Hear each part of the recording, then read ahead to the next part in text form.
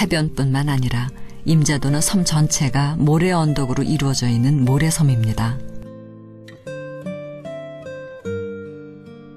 모래가 많아서 임자도 처녀는 모래 서마를 먹어야 시집을 간다는 말이 전해질 정도. 그런데 이 풍족한 모래가 섬 사람들의 살림 미천이랍니다.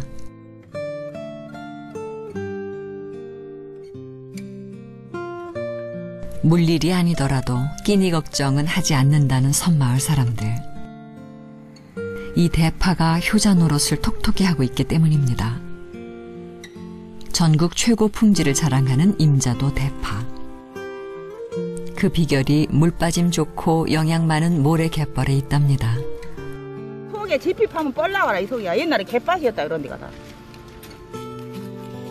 모래 갯벌에서 자란 임자 대파는 흰 부분이 길고 탐스러운 게 특징. 이 모래밭이라 이거 흉구면은 이제 낳고 이것이 자꾸 점점 점점 클수록 요거 이제 부설해. 그러면 이 흑은디가 많해. 많해라서 이거 흑은디가 많아야만 상품이 돼. 그 음식에다 넣으면 저.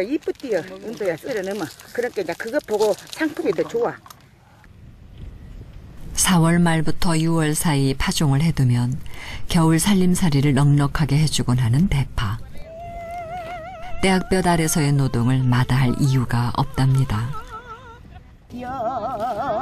여자이기 때문에 참아낸게야 한다고 눈물로 보냅니다 여자의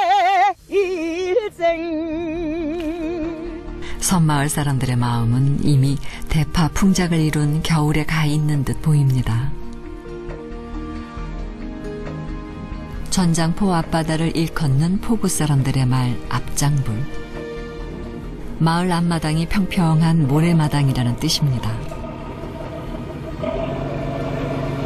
넉넉하고 질 좋은 모래는 전장포 사람들에게 좀처럼 쉴 틈을 주지 않습니다. 모래를 따라 젖새우가, 젖새우를 찾아 병어가, 또 민어가, 온갖 맛있는 바닷것들이 전장포 앞바다로 몰려들기 때문이죠. 어부에게 풍성한 어장만큼 고마운 게 있을 리 없습니다. 뻘 성분에 가가 뭐가 따로 미네랄인가 뭔가 그 성분이 돼가지고 고기가 다른 지역하고 좀 맛이 틀리다고 새우도 마찬가지입니다. 풍요로운 어장이 마련됐으니 그 풍요를 얼마나 누릴지는 오로지 사람의 목. 새우잡이 배에 오르면 각별한 체력과 인내가 필요합니다. 젖새우를 잡을 때 사용되는 커다란 자루 모양의 그물. 조류의 흐름에 빙빙 도는 그물 모양 때문에 팔랑개비 그물이라고 불립니다. 드는 물, 나는 물, 조류의 움직임에 따라 그물에 걸리는 젖새우. 하루 네 번 그물을 올리는 게 일반적인 젖새우 조업 방식.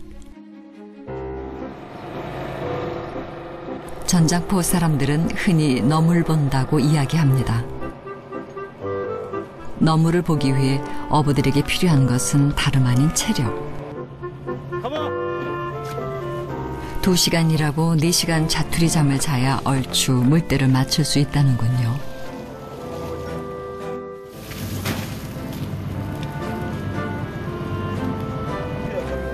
그래도 그물 가득 실한 녀석들이 올라오면 버겁던 눈꺼풀이 어느새 제자리를 찾고는 한답니다.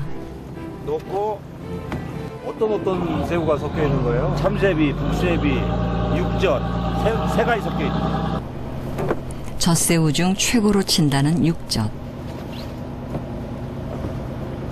음력 6월에나 나올 법한 큼지막한 녀석들이 벌써 잡히는 걸 보니 올해 젖새우 농사도 나쁘지 않을 모양입니다.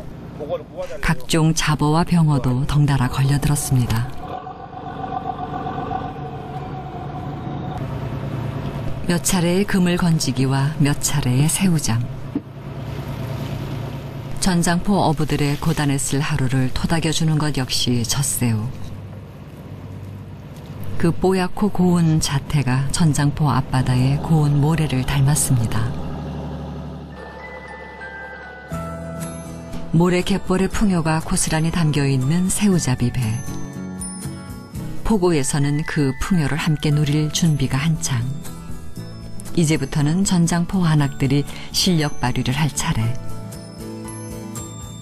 새우 추리기는 새우젓 담그기의 필수 과정입니다.